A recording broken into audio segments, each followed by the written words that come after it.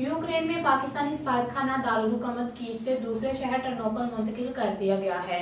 सफीर पाकिस्तान नवील खोकर के मुताबिक यूक्रेन में पाकिस्तानी सफारत खाना टर्नोपल में आज से मुकम्मल फाल होगा। यूक्रेन से निकलने के लिए तमाम तलबा पूरी टर्नोपल पहुँचे। यूक्रेन में खारकियों से टर्नोपल के लिए ट्रेन सहूलत मौजूद है। ट्रांसपोर्ट ना मिलने पर सफारत खाने के तलीमी मशीर की खिदमत हासिल करें। कीफ और टर्नोपल में तलबा की मदद के लिए दो फोकल पर्सन तैनात हैं। तुर्क सदर ने यूक्रेन में रूस की फौजी कार्रवाई आलमी कवानीन के खिलाफ करार दे दी है। रूसी ऑपरेशन खत्े में अमन इसकाम के लिए दजका है। रजब उर्दगान ने यूक्रेन में तुर्क, यूक्रेनी और तारतारी अवाम के तहफ़ को यकीनी बनाने के अज़म को ज़ाहिर किया है। लोधरा में इन दिनों पाँच फुट पराठे की धूम, आलू की मामूली दाल और सादा पराठा, लेकिन मामूली नहीं पूरे पाँच फुट का। जायके में आला पाँच फुट लच्छेदार पराठा बनाने वाले का दावा है कि पाँच फुट का ये एक पराठा आठ से दस अफराद के लिए काफ़ी है। गुजरावाला मुस्लिम लीग नून के M N A Malik Sohail Khan, session अदालत से फरार हो गए।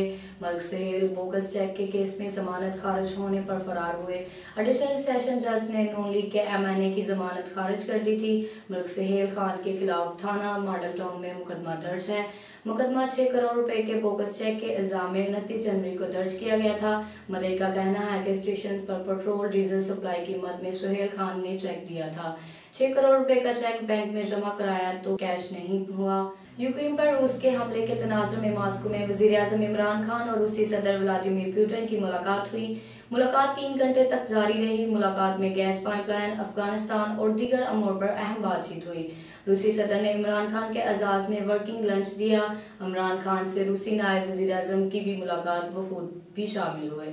मजीद अपडेट्स के लिए देखते रहिए के एन न्यूज़ लाइव